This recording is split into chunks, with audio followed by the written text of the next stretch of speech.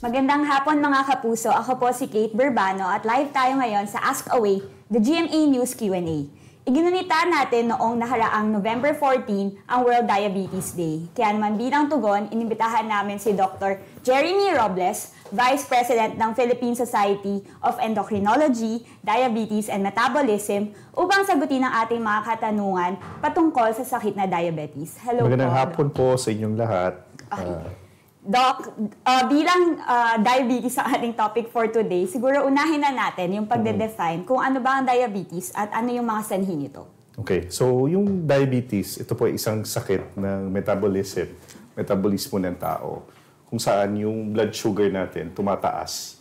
Dahil marami, maraming dahilan, no? Kasi yung katawan natin ay parang nagbe-breakdown, nagkukulang yung insulin. At the same time, merong tinatawag na insulin resistance. Ah, nasa lahi dun, din po ito, no? So if may relative kayo na diabetic, most likely yung next generation or succeeding generations, pwede po siyang maapektuhan. No? It's a lifestyle disease, meaning malaking bagay po yung taong nag-exercise, dapat merong balance yung ah, pagkain natin and then yung activities na ginagawa natin. These are very important things na uh, you need to consider. For diabetic patients, medyo may konting imbalance kasi yun, napaparami yung kain, wala masyadong exercise, kaya isa yan sa mga delikado nangyayari sa mga pasyente na may diabe- diabetes. No? So, paano po ba namin malalaman kung may diabetes ang isang tao? Like, ano yung mga symptoms? Okay, so when we talk about symptoms for diabetes, initially kasi dati most of the patients medyo may andito na sa mga 40 above yung diabetes. But nowadays, we're finding out that a lot of these patients, medyo younger na nga Pabata sila, pabata ng pabata. pabata, no? Yeah. Kasi nagbabago na rin yung mga karaniwang kinakain natin. We used to eat, like, kunyari, siguro, a long time ago, mga kamote, mga ganun. Pero ngayon, mga fast food na yung kinakain natin. So, ah delikado rin siya kasi soft drinks, sobrang na, nas- nakakasanayan na natin, ano? Guilty. Okay, so those are things na that change. So, when we diagnose diabetic patients, no, we first ask the history kung meron bang lahi na diabetes. Next, we kind of ask about the symptoms. Ihi ba siya ng ihi in the middle of the night? Kunyari, so typically you would sleep probably at 9 or 10 o'clock, tapos gising ka umaga na. Pero yung mga diabetic patients, they wake up 2 to 3 times in the middle of the night para umihi sila. So, di sila nakakatulog na mabuti. And then, these patients also manifest with weight loss. So, pumapayat sila. Sobrang pumapayat sila. And then, ano pa ba? Uh, thirst. Lagi silang nauuhaw, lagi silang nagugutom. No? These are signs and symptoms na diabetic ka. Kasama na rin dito yung panglabo ng paningin, tapos yung mga kamay mo at saka yung mga nerves mo, parang, ang mga nerves sa kamay mo, parang may mga ah, tinik. Nafe-feel nila na may, may parang tumutusok sa kamay at sa paa nila. So, So- these are the common symptoms na sinasabi ng mga pasyente.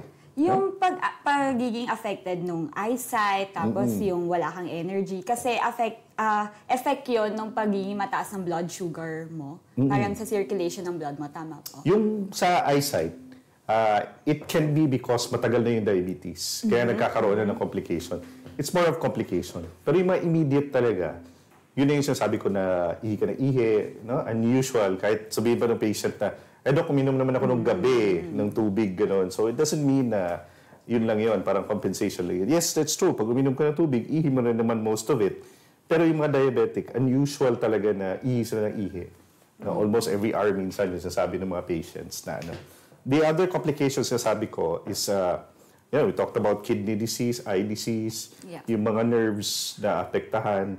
Delikado po yun because if your nerves are ruined, pag nasugatan ka, hindi mo maramdaman yung sugat mo. Sometimes na-infect, lalo lumalala. Kaya, yun, binabantayan namin yan. So that's part of the care of diabetic patients. So yun, mga kapuso, i-take note nyo po yung mga symptoms na binanggit ni Doc Jeremy. Baka kailangan natin magpa-check up. So yun, if may mga katanungan po kayo, iiwan nyo lamang yun sa comment section namin and later babasahin po namin yun. Okay. So, Doc, may mga na... ah, Di naman ako expert, obviously. Pero alam ko may mga types yung diabetes. Yes, So, oo. can you parang explain it to us para alam namin kung ala, baka anong type ng diabetes Okay. yun? So yung diabetes, marami siyang klase. Um, the most common is type 2 diabetes. So type 2 diabetes mellitus, ito yung sa mga 40 above. Ha? Pero karaniwan, lumalabas na rin ito sa mga younger age group. This one is related to someone who has diabetes in your family na napapasa sa'yo. Pero ma- malaking role din yung lifestyle dito. Kasi syempre, pag kunyari, na, may genes ka na, na diabetic ka, tapos mahilig ka pang uminom ng kape, tapos mag soft drinks and everything, eh, kukontribute mo, ipupush mo yung katawan mo. Pinapalala mo pa yun. Oo, ipupush mo siya in a sense dun sa breakpoint kung saan magsishift ka na to being a diabetic, no? So type 2, ito po karaniwan, pwede pa siya tablet usually pag start. No? But eventually, masishift ka rin papunta ng insulin pag tumaas na masyado yung sugar mo. Yung type 1 naman, ito yung mga bata pa, diabetic na sila. Initially, they're okay. Tapos, dadaan sila ng stage na natitrigger yung attack ng diabetes. Then, they, they break down in the sense na yung sugar sobrang tataas. Ibig pala sabihin nun, yun na yung start nung, nung manifestation ng sakit nila. Ito po yung mga nangangailangan ng insulin early on. And then they will need insulin for life. No?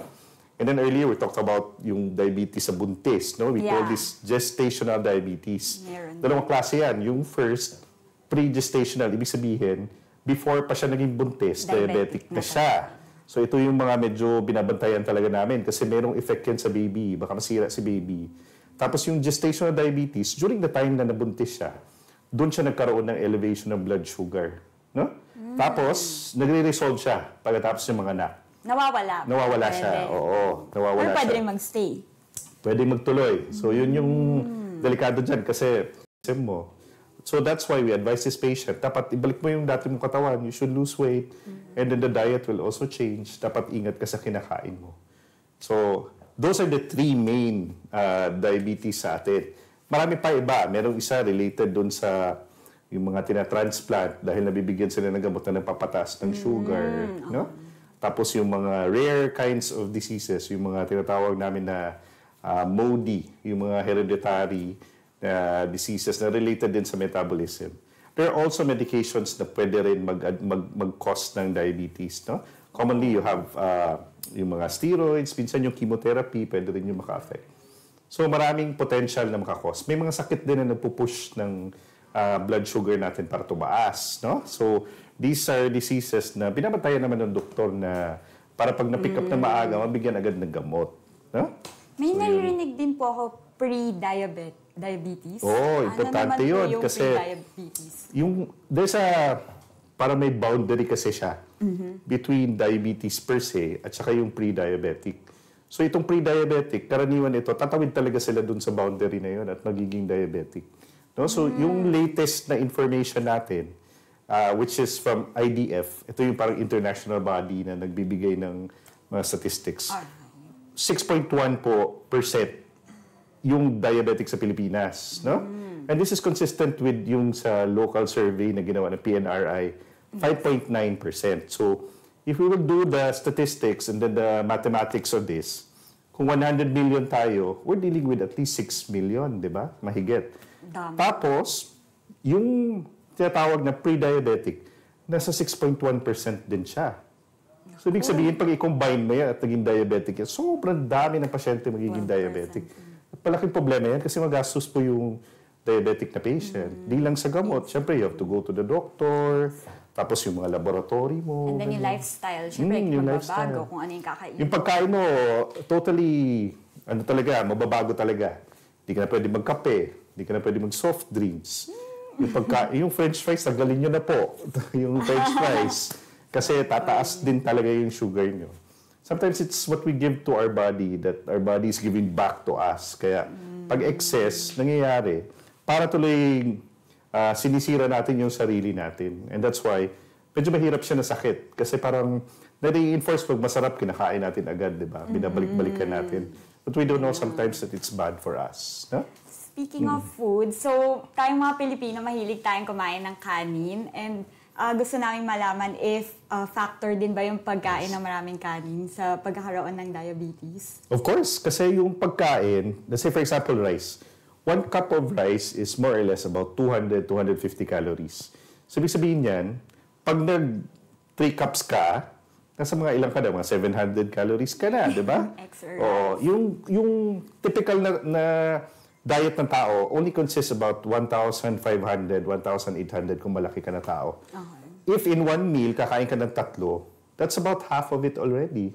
Tapos pagdagdagan mo pa ng ulam mo, I'm sure di lang na siguro isang slice ng ano, ste, ng ano, karne ang kakainin mo, mapapadami din kung maraming rice, no? So, in short, if you eat too much, it gets deposited to your body. Tapos, ito yung nag-degenerate ng excess na blood sugar. Kaya nangyayari, pag sobrang daming rice, eh Pilipino, kumakain tayo ng rice lagi, di ba? Mahilig Kaya tayo ng na. rice, oo. Kaya kahit saan ka ng restaurant pumunta, they even offer only rice lagi. Delikado yun kasi pag sobrang excess yung kinakain mo, tataas at tataas yung sugar mo. Kaya tataas din yung chance mo na magkaroon ng diabetes. No? Kaya easy lang tayo dyan. Kasi Yes. ano naman, kaya naman yan. Masarap ang extra rice pero hinay-hinay lang po tayo. Bantayan natin ang ating kinakain. Okay, kukuha po tayo ng mga tanong mula sa ating Sure. mga viewers. Ah, okay. My doctor in Makati told me that my type 2 diabetes is still reversible. Is it really possible na mawala ang diabetes? I was diagnosed last January and I am only 28 years old. Oh, bata pa, no? You're very young, no? Uh, generally, if we diagnose the patients with diabetes, it is a lifelong na sakit, no? So, I don't know at what stage ka po na, na sabi ng doktor mo, kasi baka pre-diabetic pa talaga siya, hindi naman siya yung diabetes talaga. Hopefully, ah, hopefully ganun. But if you're in the diabetes na stage, uh, life-changing yan kasi mababago talaga yung mga nakasanayan mo. Uh, but if they diagnose with you with diabetes type 2, karaniwan mag maggagamot na talaga siya for life. ha? And then, of course, everything goes with it, like the diet, the exercise. no? Adjust na lang tayo sa lifestyle Yes, you have to natin. follow up with your doctor. No? Okay, next question. Type 2 po ako and I have a newborn at 7 weeks. How likely po ba na ang baby ko will also get type 2? Oh, I mentioned that kanina na if you are diabetic, the risk Malaki. na mapapasa mo yun sa next generation, malaki din. No? So, some of the studies give us about mga 10-15%. Di ba natin alam kung ano talaga siya eh. Kasi iba-iba naman yung ethnicity natin. So, among Pacific Islanders at saka yung mga Filipinos, medyo mataas yung rate natin for diabetes. Kasi ayun sa preference natin sa pagkain. Mahilig tayo ng mga masasarap, no? Usually oily food, yung masyadong matamis, kakanin, yun, those contribute. But you have to remember na, as I mentioned, hereditary to, napapasa to. Definitely, yung baby mo magkakaroon din ng potential na maging diabetic. It's up to you and the next generation how you will work around it. So, kailangan maingat sa pagkain, dapat balance yung ah, diet and exercise para maiwasan na maging diabetic. Or at least, hold it back until such time na ano na talaga, kung hanggang sa masagad mo na okay pa yung sugar. Pero may risk talaga si baby. Ha? So, nabanggit niyo po yung sa lahi kanina. So, sabi niyo tayong mga Pacific uh, Asians, tama? Mm, And Asians, then ano. Americans din nabasa ko na uh, high risk sila sa diabetes. Bakit yung mga European hindi? So, dahil sa food na kinakain na lifestyle. Glo- globally, actually, lahat tayo, may risk tayo. Iba-iba lang yung ano natin. Iba-iba lang yung level nung percentage na at risk for diabetes. The Americans have a very high risk also because of the food. Sobrang excess sila kumain, di ba? Pinagtatapon-tapon na nila yung pagkain nila doon sa ano. And then when they eat burger, kailangan may fries talaga, soft drinks, ganun. So, it's a lifestyle thing eh. So, Malaking serving sa malalaki yung serving, di ba? So, I used to have a friend ako, sabi niya, pare, iba talaga sa Amerika kasi yung yung yung chicken nila doon ang lalaki. At yung pizza nila doon ang lalaki. So, kaya tinan mo naman sila, ang lalaki din naman nila. So, malaki din yung risk nila magkaroon ng diabetes. In contrast, you're looking at Asians, medyo mas maliit tayo compared sa mga counterparts natin sa Europe at saka sa Americans. But if you look at the type of food that we eat, we prefer spicy food. Di ba? Kahit yung mga Indonesians, na mga Singaporeans, spicy. mga pagkain nila spicy, sweet, this contributes na dadagdagan. Kasi pag nagpapasarap yung kain mo, dadagdag at dadagdag ka ng rice eh. Tapos yun pa naman yung common denominator natin sa buong Asia, at least for our region, sa pagkain din. spice. Ah, so, all over the world, it's a global problem. And uh, each and every country are actually doing something about it. But it is a big problem that, you know, we need to be aware of. Tapos dapat maggawa tayo ng paraan para ma- matulungan natin yung mga pasyente natin na diabetic. Ito po, from Klinika. Klinika. Doc, ang buko juice nakaka-diabetes po ba? Okay. So, I'll talk in general. Pag fruits kasi, medyo matamis pa rin siya. So, dapat meron pa rin siyang limit. Generally, the dietitian will tell you, uh, ilalagay mo yung portions mo together with your main meals. So, kakain ka, tapos kunyari sasabihin mo, fruits ako, iiwalay mo. Usually, sinasabay na namin yan kasi kinakalculate nila based on per meal. Per meal. Oo. So, if you're diabetic, may limit ka rin talaga. Kunyari, kakain ka ng saging. We will probably tell the patient, kuha ka ng medium size na saging, tapos ito yung isabay mo dun sa meal mo. No? Para Hindi ka pwedeng mag-unli sa saging or mag-unli sa ah, apple or ano mga fruits. Kasi syempre, pwedeng tumaas pa rin yung sugar mo. Kasi meron siyang sugar content. Fructose, which is the sugar that's found in fruits, will get will mabe-break down siya, magiging glucose pa rin siya. So, di-deposit mo pa rin sa katawan mo. So, pwede pa rin tumaas yung sugar mo. Yun Sa ano. So, Doc, kanina nabanggit natin na ah, hindi na lang matatanda yung may diabetes, Mm. like mga 40 pa. Ano. Bakit? Ano yung explanation kung ba't parang, yun nga, parang pabata ng pabata yung... ah, Yun nga eh. Ang problema kasi natin, um, before, we didn't have the means to diagnose our patients early. early. Ngayon kasi mas aware na yung mga tao. So pag may symptoms na sila, nakakwento na, naku, mapapansin ko na madalas sa papaihi ko. No? So, for yung mga kababayan natin na nagwo-work, nasi-screen din sila maaga kasi if you work for a call center, for a company, May they do medical medical check-up eh. So marami kami nakukuha na patient na sasabihin nila na, Dok, hindi ako kinlear nung doktor ko kasi kailangan ko daw magpa-check up kasi may diabetes daw ako. So that's one thing. Second, napapadami talaga yung mga patients na diabetic because of nga yung lifestyle. Apo, yun. Na, a lot of our patients now, kasi mas malaki na kinikita nila, so mas maigi na yung ano nila, capability to buy what they want. No? So, these sweetened drinks, and then yung mga pagkain, ice cream and everything, they all contribute to the general scheme na nagkakaroon na tayo ng problem with our younger generation. No? Eh, yung, ano naman, papel ng genetics po. Ah, yung genetics. oo. So yung genetics, tama no? Meron talaga siyang connection. So ibig sabihin yan, as I mentioned, yung mga parents mo diabetic, ito yung magmamanifest din later on, napupunta sa clinic, napapacheck up. Part yan sa history taking, mas sabihin mo, sino po ba diabetic sa family ninyo? Karaniwan sa kanila, meron talagang history. And this is very dangerous. Kaya kung alam mo na diabetic yung patient mo, dapat maingat ka talaga sa pagkain mo. You should not uh, gain too much weight, no?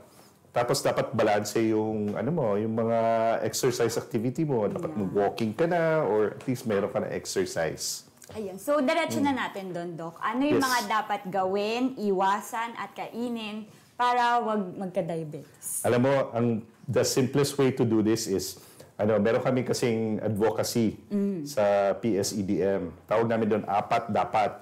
So si apat dapat doktor. Kailangan pumunta ka ng doktor para makausap mo siya, para ma-advisean ka ng ano, no? Tapos diet, diet importante, no? Tapos exercise.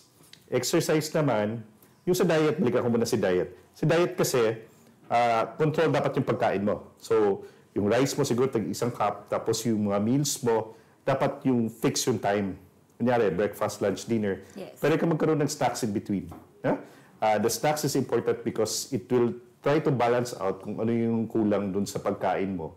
Kaya kung given the right time, right positioning ng snacks mo, pwede mo itawid yung breakfast mo na hindi ka gutumin hanggang dinner. Yeah? so, okay. doctor diet, exercise. So, yung exercise naman, yung recommendation is 150 minutes per week. No?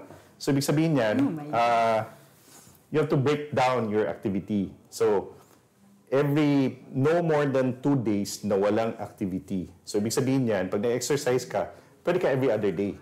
No? So, you Pero wag can do days. TTHS, ganun. Pero not not more than two days Mm-hmm. exercise. Tapos yung pang-apat is medication. No? So medication, medyo madugo na, na topic yan kasi ang daming pwedeng gamitin for diabetes. You can have oral medications, you can have insulin also, Yes. or may injectables, no? Na pwede naman natin pag-usapan later. I'm sure they will ask about it. So, doctor, uh, diet, So, apat dapat, exercise, no? And then medication. Medication. oh. Okay, so Doc, what tayo ulit ng questions? From Ramon. Doc, nasa 139 po ang reading ng sugar ko. Magte-take na po ba ako ng gamot sa diabetes? Okay, Ramon, lumampas ka na sa cut-off. 126 yung 126 yung cut-off natin for diabetes. So I don't know kung ano yung background mo from before. Uh, what time mo kinuha siya, kung fasting ba ito or random lang ba ito, no? So uh, mas mainam siguro mapatingin ka na ngayon kasi yung 139 medyo mataas na yan siya, no? If I understood it right na yung kinuha na blood sugar sa sa dito sa arm and then this was done fasting. Kasi lampas talaga to sa 126. In fact, yung tamang normal na blood sugar is below 100 no for FBS mo. So yun, pa-check ka na Ramon. Ang glucometer po ba ay reliable gamitin? Hmm, that's a very good question kasi yung glucometer, karaniwang ginagamit ng mga kababayan natin. No? So, yung glucometer, it's designed to check the blood sugar from the periphery. So, sa mga fingers, no, pwede mong kunin yan. Eh, Ito ay may plus minus, depending on the brand and depending on the accuracy. Doon sa blood sugar mo, plus minus na 15 to 20% doon sa actual na blood sugar mo. We don't use it to diagnose, we use it to monitor our patients. Karaniwan po, blood extraction talaga kinukuha sa braso. But once that you, you know na diabetic ka or at risk ka, pwede mong gamitin si glucometer to monitor the blood sugar. Okay po. Um, kapag po ba diabetic yung parents ko, automatic magkaka-diabetes na din ako. Ay, sorry Dave, nasagot Oo. na kanina Partly, yan. sinagutan natin yan. Oh, so, pwede ka magkaroon ng diabetes pa rin. Okay po ba ang keto diet at intermittent fasting sa mga diabetic? Yun. So, uh, I was expecting that question kasi yan common tinatanong sa amin. So, dalawa po yung uh, topics na yan. No? You have intermittent fasting and then you have ketogenic diet. So, intermittent fasting, basically yung concept nun, parang i-restrict mo yung kain mo for at least 12 to 15 hours. Di ka kakain. No? But, so, what they do usually is they put a, they set a time kung kailan ka last pwede kumain for the day and then kailan ka mag-start ulit kumain uh, it might not be the best option for diabetic patients kasi meron magkakaroon ng hypo, especially if hypo meaning bababa yung blood sugar nila, hypoglycemia ang tawag dito. If sobrang baba na yung sugar niya, baka magkaroon ng aksidente, magkaroon, magkaroon ng problem, no? So, so most of the patients that are diabetic, meron po silang gamot, no? So, baka po mahirap for them to do Maintain intermittent diet. fasting. Kasi nga, we recommend that they do regular diet na balan- balanse naman. No? Sa keto diet naman, iba rin yon Kasi yung keto diet, you take out the carbs and just you just put in the more on protein. So meat karaniwan kinakain nila, no? So be chicken or meat, beef or pork, no? Silang rice. Ganyan yung keto diet. Problem naman with that is pag sobra mong kinain yan, syempre tataas din yung cholesterol mo. No, kasi you're putting in pure meat na talaga at saka protein. You also will have problems with that. Kaya medyo mahirap din siya. So pinakaiba nila yung keto diet, anytime of the day pwede ka kumain pero ano lang, may restrictions sa sa food. So kain sila ng kain tapos yung proteins mainly. So these are two strategies to lose weight that may not entirely be useful for diabetic patients, no? I'm not saying hindi siya effective. I've seen a lot of people na nag-lose ng weight. Pero hindi kasi yan yung original na purpose niyan eh. In fact, ketogenic diet was in- initially uh, used for patients na yung merong seizure. So yun yung origin niyan. Tapos na-notice nga, since pumapayat, doon na yung nag-start ng, ng gamitin nila. Oo. Kaya medyo mahirap yan. So you, if you want to try it, you, you have to talk to your doctor kasi may medications kayo. What complications can arise from diabetes? Marami siya. So we have the macrovascular complications and we have microvascular complications. So macrovascular complications, ito yung nagkakaroon ng sakit sa puso, nagkakaroon ng stroke, no? nagkakaroon ng um, sakit sa ugat. So these are macrovascular. So microvascular complications, ito yung nagkakaroon ng problem sa mata, yung pinag-usapan natin earlier, tapos yung mga nerves sa kamay na apektahan, and then your kidneys also. No? So these are complications that occur around mga 10 to 15 years after, na. After. Pero, ah, di na ba yung mapipigilan, Doc? Or, Kaya nga, dapat pumunta ka talaga sa doktor mo kasi dapat i-control mo yung blood sugar mo kasi pag hindi mo na-control, pag na-control mo siya, pwede pang ma-prevent yung complications ng diabetes. In fact, that's the thing that you need to understand about diabetes. There's no cure, wala siyang gamot. Pero if you control your blood sugar and you prevent the complication, kaya mong mabuhay na ordinary na ano, ordinary lifespan talaga. Minsan lang, na-frustrate sila kasi gusto nila mabalik sa normal. Tayo naman lahat, di ba? If we go through something, we want to go back to what we're used to. Ito lang, pagbabago talaga siya. It is a life-changing event that will make will make things difficult for a lot of our patients na na-diagnose ng diabetes. So, self-discipline talaga siya. So, et, ay, ito. Yung pinsan ko ay sobrang hilig sa sweets at high risk siya sa diabetes dahil may diabetes ang nanay niya. Pero di siya kakain kung hindi sweets ang ibibigay. What should I do? Huhuhu. Huhuhu talaga. Kasi yung ganito ay mga pasyente na potentially baka magkaroon ng problema early on. No? Kahit sa sabihin mo na... So, the period before you become diabetic, yung pre-diabetic, nagtatry na si body noon na mag-compensate. So, ginagawa niya, hinahabol na niya yung sugar to bring it down. Problema lang kasi, itong pasyente natin, pag ganun, kain na kain na matamis or anything na ah, magpupush sa kanya, hindi na kaya habulin ng katawan. Kaya pag nag-breakdown siya, diabetic na labas sa iyo. No? So, yung pasyente mo, pakiusapan mo, sab- sabihin mo na, naku, dahan-dahan ka dyan kasi mahuhuhu talaga tayo lahat. No? So, sa mami po ng batang yan, ako, i-discipline yun. okay po ba ang mga herbal alternative sa mga diabetic? So, yung herbal medications, okay. In reality, yung mga gamot na iniinom natin ngayon o ginagamit natin yon, some of them are actually taken from uh, plants, no? Sa, minsan sa mga animals and then yung mga synthetic. Yes. Ang problem lang, when you go through the process of developing medications, sobrang tagal yan, maraming phases. So, sobrang haba nung period bagong masasabi na safe siya gamitin sa tao, effective siya gamitin, kailangan may studies pa yan na mapuprove na okay talaga siya before we can actually recommend it. Unfortunately, itong mga herbal minsan, marami sa kanila yung studies medyo alanganin. No? Tapos marami rin sa kanila, we don't really know the process of them extracting kung ano yung dapat kinuha doon, dapat ba sa, sa dahon kinuha, dapat ba sa root.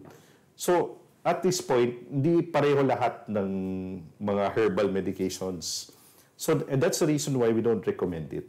Because we don't know how they process it, how was the preparation, was it appropriately process, kumbaga yung paghanda nila doon, okay ba, saan kinukuha to, saan sinusource to, no? I know that there are a lot of herbal medications that that recommend themselves, no? Mm-hmm. Nasabi na, inumin mo to ganito. Wala pa po talagang cure sa diabetes, no? Uh, I always tell my patients na mag-ingat kayo because these are just mainly suggestions lang. Walang enough studies na magsasabi na effective siya to treat or even control diabetes. Kaya di kami makaka-recommend nun. Okay po. Ah, sundin nyo na lang kung ano yung sinasabi ng doktor nyo. Yun yung safest way. Yes, oo. Ano ang mga preparasyon ng mga test na dapat isina, isa ilalim ng isang tao kung nais niya magpatingin kung may diabetes siya? Okay, so yung mga test, usually it's blood test, no? Pinaka-basic na test para gusto mo malaman kung diabetic ka is you get FBS, fasting blood sugar. It's probably the cheapest also that you can find in practically every laboratory. Yung fasting blood sugar, i-check niya between 8 to 10 hours kung ilan yung blood sugar mo after fasting. Normal dito, dapat less than 100. If it goes beyond 126, malamang diabetic po kayo. No? Ang next na test na dapat nyo gawin o pwede mong gawin to rule out diabetes, yung tinatawag na OGTT. Pinapainom ka ng matamis. And then they check after a couple of hours kung tumaas ba o hindi. Kung ba, challenge mo siya. No, the other one is yung, ang tawag nito, yung, yung random na testing na lumampas ng 200, yon diet, malamang diabetic siya. Tatungin mo siya ngayon kung ihi ba siya ng ihi o meron ba siyang symptoms. symptoms na po. Yes. Ang Tapos the fourth na. one is yung tinatawag na A1C. Ito medyo mahal siya. Pero it will give you the 3 months na status ng blood sugar ng pasyente. At this point, sa Philippines, hindi siya ginagamit for diagnosis. But ginagamit siya to look into the succeeding months na follow-up kung nag improve ba siya. So, pwede pa rin siya gamitin to monitor the patients. For those na nagtitipid, probably you can do just checking lang dun sa blood sugar, dun sa glucometer. Usually, pag lumampas siya ng 180, malaking chance diabetic ka. No? But don't use it to diagnose. Ano lang yan? Parang screening lang yan siya. Para lang malaman natin kung sakali meron bang risk o may possibility ba na maging diabetic. Ang stress po ba nakakataas ng blood sugar or one reason para magka-diabetes ang tao? Yes, kasi yung stress, kunyari, uh, you're here in the studio, stress ka, di ba? Kasi maraming tumitingin sa'yo, nag-uusap sa inyo, no? So you guys are stressed, no? Pati ako nasi-stress din. But anyway, uh, stress can release certain hormones in the body na pag lumabas ito, magsushoot up yung sugar mo. No? So, ano, may compensate doon sa mga nararamdaman mo. So, pag kinabahan ka, ganun, stress factor yan. So, pwedeng tumaas siya. In fact, those patients na na-admit sa hospital, may stress na siya eh. Kasi nasa hospital siya eh. Pwede yes. talaga tumaas yung sugar niya. So, nasa-stress din siya sa gagastusin niyo doon sa hospital. So, pwedeng tumaas Wala. din yun, no? Spiral Oo. na. So yun, iwasan natin ma-stress dahil makaka-affect po yan sa ating blood sugar na makaka-affect sa pagkakaroon ng diabetes. Okay. Tama po bang isang epekto ng diabetes ang mga unhealing wounds? Paano po ito nangyayari? Yes. Isa po ito sa mga dahilan kung bakit nagpapacheck up yung patient. Nagkaroon sila ng sugat, tapos yung sugat nila ah, ayaw mag-heal. No? Sabi na, Dok, mga, mga sa buwan na may tong sugat ko, hindi pa nag-heal. No? So, baka lang. No? Eh, marami naman dahilan, pero that's one thing that you can consider na baka nga yung, sug- yung sugar mo ay mataas. Kaya hindi nagko-close yung sugat mo. Kasi your body's response to infection is not as good if you are diabetic. So, kunyari, pag may infection ka, in a group of people that are non-diabetic, tapos ikaw diabetic, ikaw yung mauuna matatamaan ng, ng infection. That's not true only for yung mga sugat lang, yung mga ubo-ubo. Karaniwan, kaya pinag ina-advise sila na magpabakuna kayo for flu and the pneumonia. These are protective na recommendations for our diabetic patients. Pag may diabetes ka, parang na-affect kasi yung function sa loob ng body mo, tama ba? Yung circulation. Yes, oo. Yung defense mo sa katawan mo hindi ganun ka robust. Ha? Pwede bang lumala ang diabetes kahit na ginagawa mo naman yung tama? Kahit sinusunod mo, paano kung in-adjust mo na yung lifestyle mo? Malaki, may chance pa rin na lalala pa rin. Okay, so yan yung karaniwan na problem na sinasabi din ng mga pasyente na pupunta sa clinic. Sasabihin na, Dok, nagda-diet naman ako, Dok. ah. Tapos ano, nag-exercise naman ako. Tapos karaniwan, tinatanong ko na sasabi ko, pwede ba isulat po sa isang papel yung anong kinain mo buong araw kahapon? Bantayan O gaano ka-exercise mo talaga ginawa mo? And then when they come back, I see it, sobrang daming excess na nakakain. Kunyari, si ate galing call center, "Dok, ayaw ko talaga pumayat, taba-taba ko na tuloy, eh. hindi ako magka-boyfriend. So, sabi ko, sulat mo lahat ng mga kailangan ang kinakain mo and then lahat ng ginagawang exercise. This patient turned out to be uh, eating too much. Kasi kahit sabihin niya, three times siya kumain, tatlong beses din naman siya nag, nag, nag, nagko-coffee na sweetened, no? Ah. Oo. So, nung iniinom niya yon, yung isang cup pala nun, eh, mga 400 calories equivalent to one meal. So, yung typical day, she was actually eating too much. No? Much more than what she needed. And then yung sinasabi niya exercise, yung pala eh, pagbaba niya ng kotse, papunta dun sa work niya, at saka pagbalik niya. So, hindi siya counted as exercise. So, sometimes, we have this perception na may ginagawa tayo, pero in reality, hindi naman pala natin nagagawa yung dapat. So, that's one point. Ah, second, baka hindi niya iniinom yung gamot niya. Isa pa rin yun. Isa pa yung problem na yan. No? So, maraming factors. The doctor and the patient has to have this relationship na magkausap kayong dalawa para ma ma-iron out ninyo kung ano yung possible solutions to the problem. So, totoo bang mas nararamdaman ng may mga diabetes ang init ng panahon? Ang init ng panahon. Okay. So, Affected. Ah, very subjective kasi yung pag sinabi mong weather. Pabago-bago yan eh. Kasi i- it depends din kung saan ka rin at that particular time.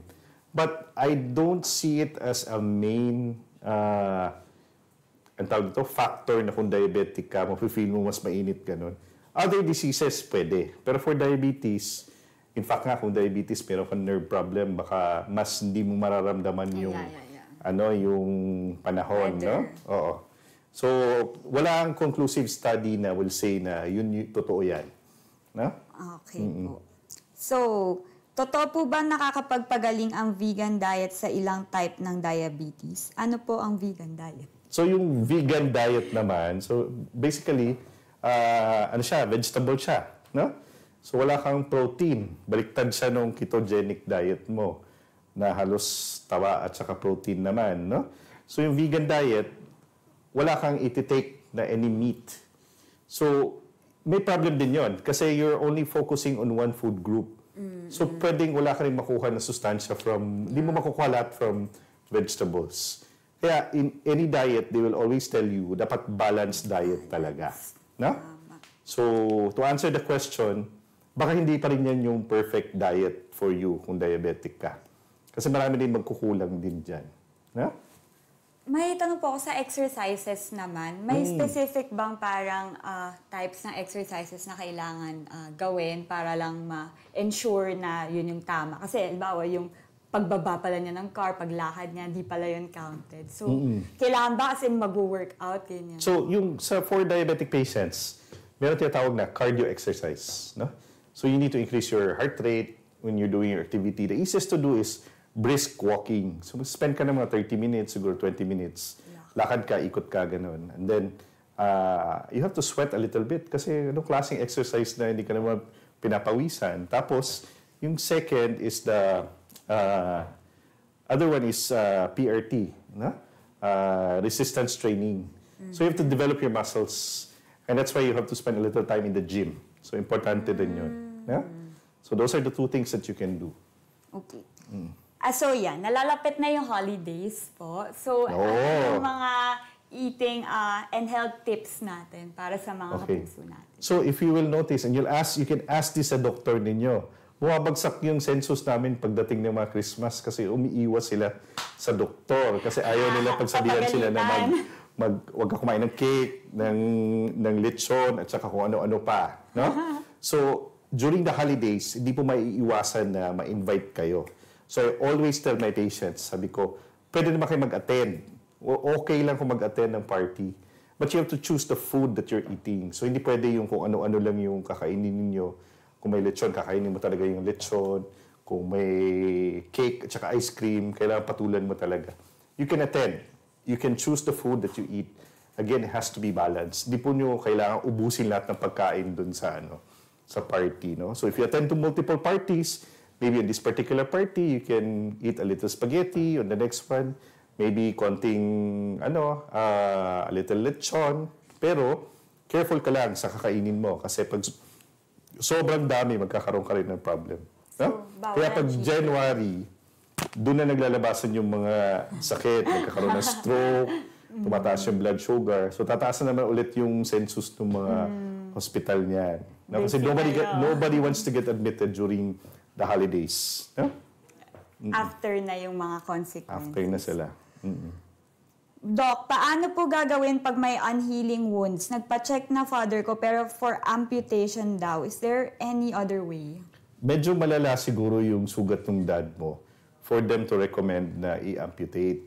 Kasi itong sugat sa paa, minsan, you have to understand na yung blood flow ng paa mo dapat maganda pa rin. Kung, kung nabigyan nila ng gamot or na-dressing nila or naayos nila, dapat yung blood flow papunta doon, okay pa rin. Kasi ibig sabihin, kahit mahil mo yan, mauulit yan siya.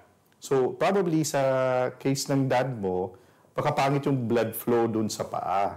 So, I don't know what really is the assessment. Kasi kung pangit yung blood flow, very difficult to save yung area na affected.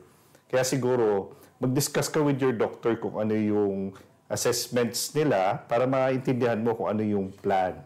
Ha? Ayun po. So, masama po ba ang luya, lemon, honey? Siya po kasi ang pinakakape ko sa umaga. Masama po ba yun sa diabetes? So, tatlo na yung iniinom mo. Luya na, lemon pa, honey pa. So, ito ay halos sila lahat, no? Matamis sila lahat, no? So, luya, I'm sure di mo naman pwedeng inumin luya lang, tapos yung lemon is a little bit sweet, tapos honey is also sweet. No? You have to be careful because this might push you to diabetes. No? So I think hindi ito yung dapat mong palaging inumin kasi baka magkaroon ka ng problem sa sugar mo. So, Doc, kanina nabanggit nyo na yung mga symptoms ng pagkakaroon ng diabetes. Pero ito may nagtanong if kasama ba dun yung pangingitim ng batok? Yes, that's what you call acanthosis nigricans. So, isa po ito sa common na signs na nakikita sa mga patients na diabetic. Particularly yung medyo overweight, no? yung matataba, tapos puti naman yung batok na maitim. Yun nga nakakatawa dyan kasi minsan sabi niya, Dok, kahit anong lagay ko ng pampaputi, hindi talaga mawawala kasi ano siya eh, has something to do with your skin. That's uh, there's a certain cell na na-activate siya. Effect na yun. Oo. Tapos nangyayari, nag-multiply yung cell na yon, tapos nangingitim. So, hindi po siya dumi sa, leeg, sa leeg nyo. No? So, you have to bring... Okay, so Doc, alam namin na ah, wala pang ang cure sa ngayon, pero siguro ah, update kung ano yung mga studies na ginagawa, kung meron bang progress, kung, ah, para in the future, ah, baka sakali magkaroon na ng cure. Yes, oh, wala tayong cure for diabetes. Marami tayong gamot na ginagamit for diabetes. No? So, oral medications, minsan kinakombine namin sa injection. Sa injection, marami na rin mga developments.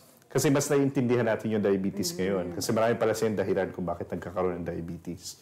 So we're also looking at uh, possible links dun sa mga genetic factors. Yeah. To do is we want to create awareness dun sa mga pasyente. And then, para mabigyan sila ng lunas o ng gamot, para makontrol yung symptoms nila at saka sakit nila. Siguro dyan muna tayo in terms of the discussion.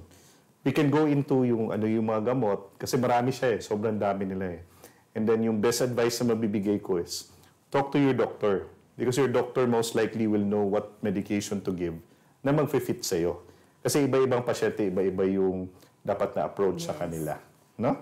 And mga kapuso, gawin din natin yung part natin to have, ayun, self-discipline. And then yung apat dapat, so visit our doctor, mag-diet tayo, exercise, and ah, alamin natin kung ano yung mga tamang medication.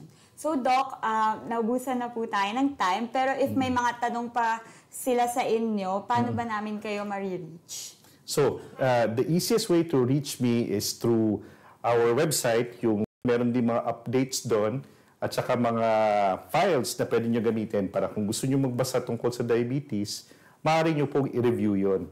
And then you can send an email to our secretary and then they usually can course that to me naman.